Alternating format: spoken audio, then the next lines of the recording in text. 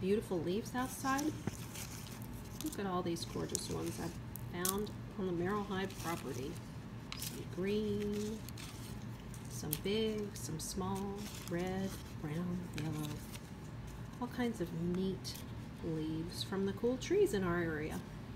I have two projects for you this week. The first one is simply a colorful leaf rubbing. To do a leaf rubbing, you just need a piece of paper.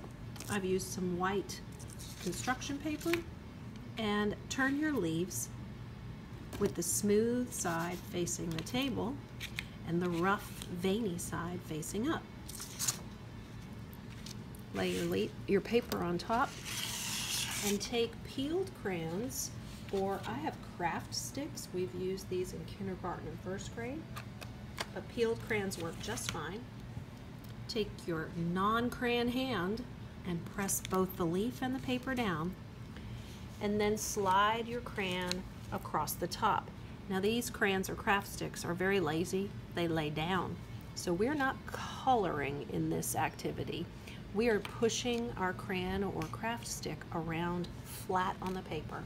First thing I try to do is find my center of my leaf. So I found that center right there.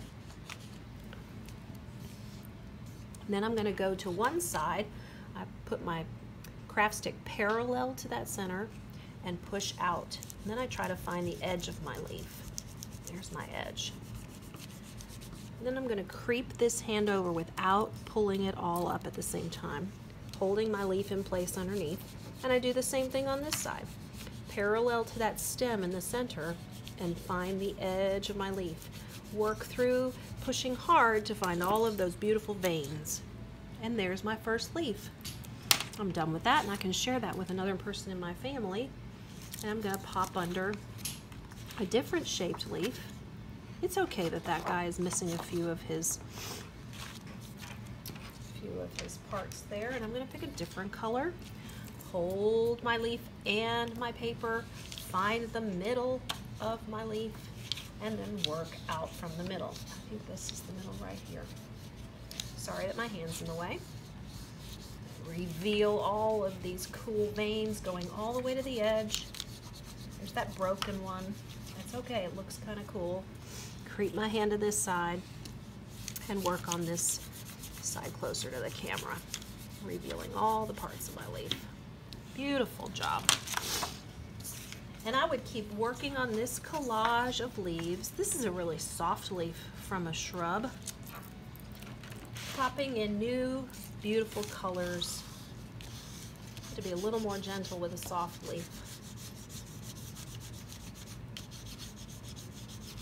And even small leaves can make beautiful patterns. Here's a small leaf. Maybe I'm gonna put on some yellow. In fact, I like that yellow, I'm gonna give this leaf two tones, add some green to it. If I don't lift my hand up holding it down, I can add more than one color. So I hope you have fun with that leaf project, making a colorful leaf collage. Peeled crayons or craft sticks. Craft sticks are available from Crayola. Let's see if you can see it on any of these. They're a Crayola product.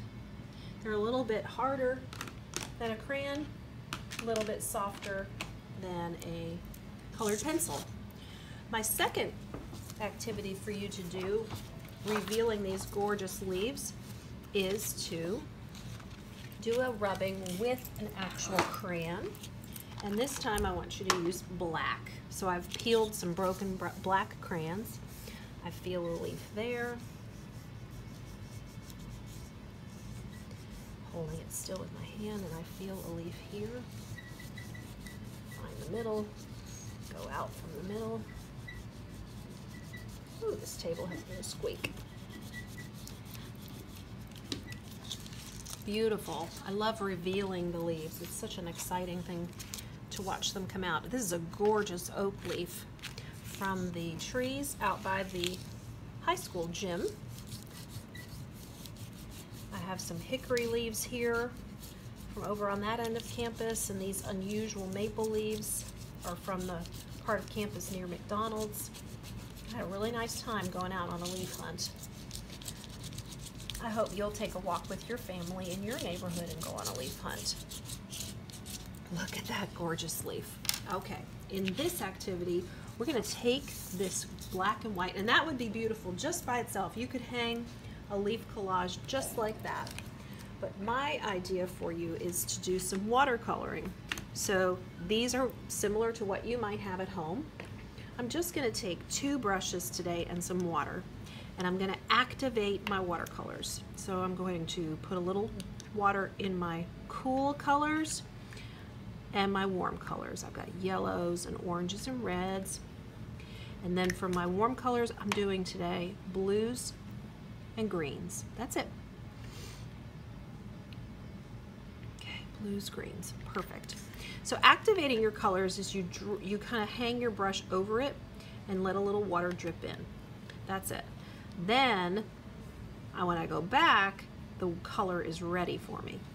We are going to do a very light and sloppy painting of our leaves. So I'm going to just take a little bit of orange on each of these leaves.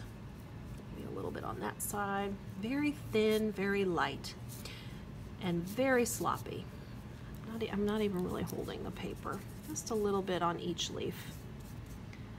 Mm, maybe a little red.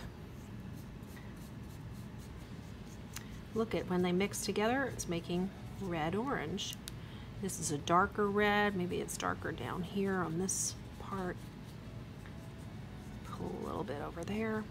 So this leaf is red and red-orange. I'm gonna rinse out a little bit and I'm pulling yellow. And I'm gonna make this one kind of a yellow-orange. Whoops, too much.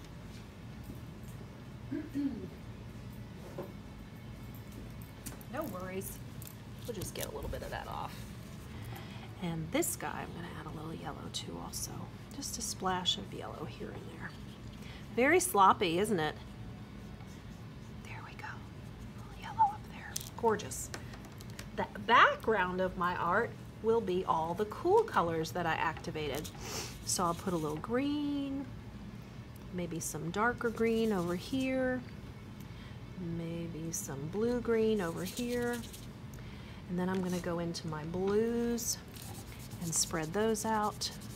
And I'm really being very sloppy, very watery. There's some blue-green, and I'll mix in as I come around. See the wateriness of it? So this is gonna take a little while to dry. All right, and adding some blues over here and blue-greens in those spaces where the leaves are not. I hope you'll enjoy this watercolor leaf rubbing with warm and cool watercolors and the colorful leaf coloring we did with our craft sticks or peeled crayons. These are a gorgeous way to celebrate the trees in your area and your artistic talents.